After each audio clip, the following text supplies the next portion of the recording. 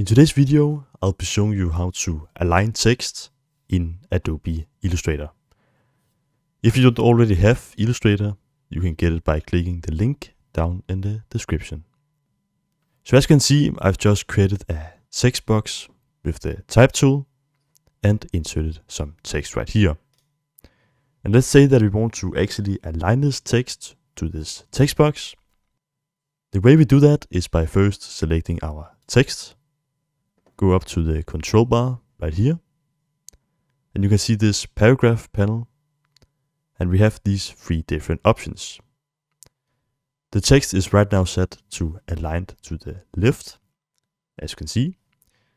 And we can also choose this align center. And the text is now aligned to the center.